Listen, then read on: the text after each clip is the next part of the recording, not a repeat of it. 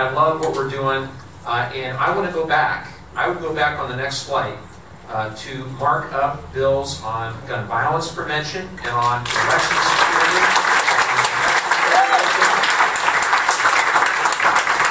So we took uh, the month of August, or are taking the month of August in our districts, and it's been an incredible month for me to get to learn from so many of you. Uh, and I go back after Labor Day uh, and I want to thank everybody in the room that's here.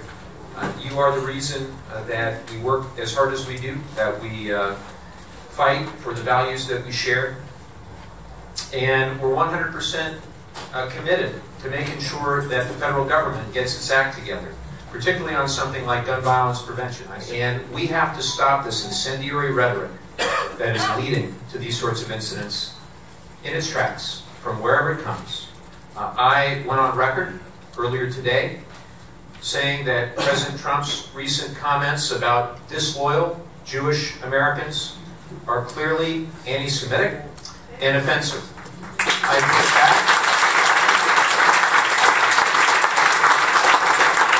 I think back to my own grandfather, who served in World War II, and then after returning from service could not use our family name in his business. If he saw the type of comments that are being made today, he would find them deeply offensive, particularly coming from the Oval Office. So I don't care where the offensive comments are coming from, we have to stop people in their tracks and prevent this from getting out of hand. So I need everybody in this room to fight hate uh, with hope and with unity and with love. Can we do that?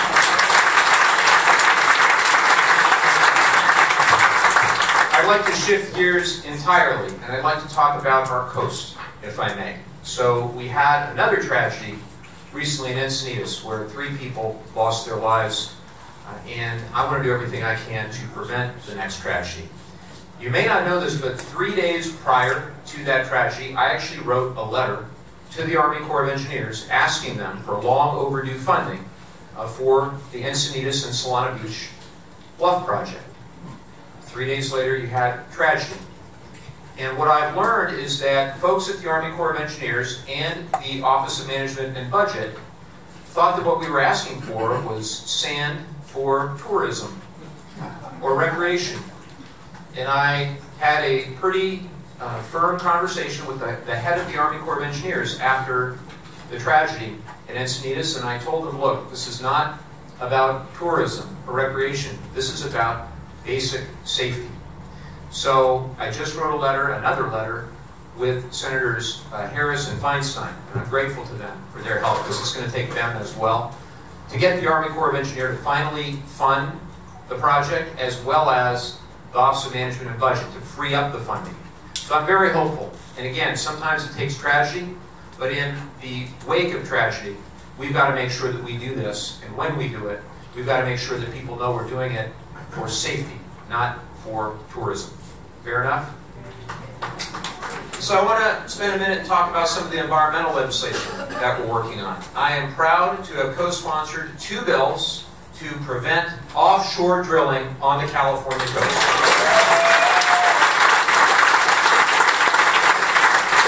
I had Secretary of the Interior David Bernhardt in my district office, and we had a meeting.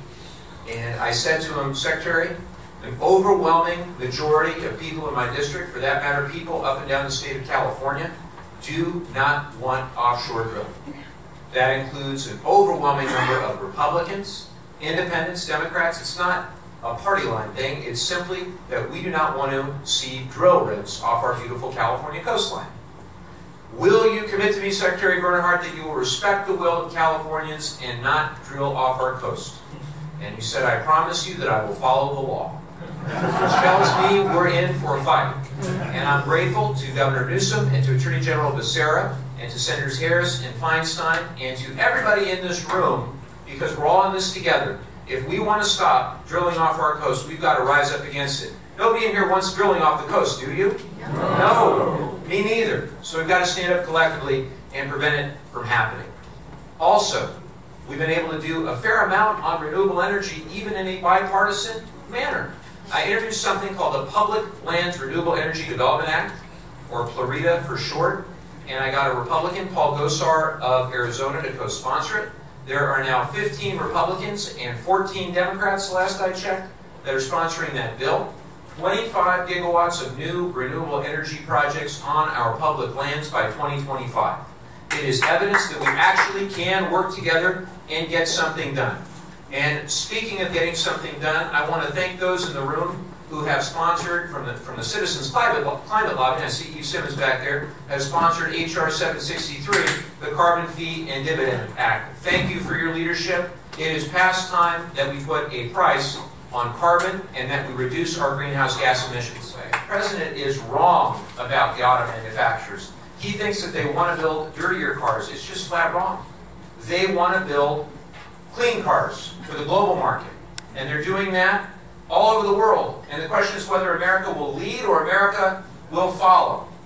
Because what will happen in the next 20 to 30 years will revolutionize the way that we move people and goods. And the question will be whether or not the United States leads or whether or not we're driving clean cars that are built elsewhere in Europe or Asia, or whether or not we're building cars right here and leading in clean energy manufacturing just the way we've led in every other industrial revolution over the last 240 years.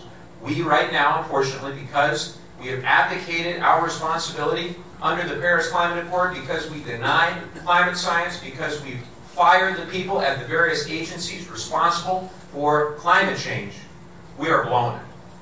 And so I need your help, and ultimately, I think there's a brighter day ahead. We've got to stop digging the hole. That's why it's so important that we hold to account the EPA under this president. When you have the Secretary of the EPA, who, uh, after decades of bipartisan progress on banning toxic pesticides or getting the mercury out of the air uh, or lead out of our water, we are taking a step back. Everybody knows that. It's really important as we may think. We had Transnet. Everybody knows about Transnet, and then they re-upped it. And unfortunately, a lot of the money's already been spent.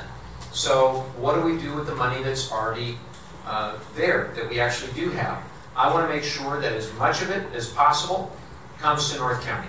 And what I mean by that is let's get everything shovel ready so that if we move forward with the five big moves, with the uh, connected corridors, with the transit hubs, you'd have one in Solana Beach, uh, where the, the train station is now. By the way, our new campaign office right by the Solana Beach train station, right on Rios, hopefully will be open very soon. Uh, but the idea is you have these transit hubs, and then you have everything from ride sharing to um, you know being able to get a get a bike, get a scooter, you name it. So what it all is going to take is money, and I will leave it to SANDAG to work with the mayors and here's where we'll come in, is whatever the plan is that is locally derived, that's where the federal government will come in and match as much of the money as we can. Billions and billions and billions of dollars in federal funds, and I will work and fight and claw for every single one of those dollars so that we can be proud of our entire transportation network in North County. In my district, the average commute is 27 minutes each way.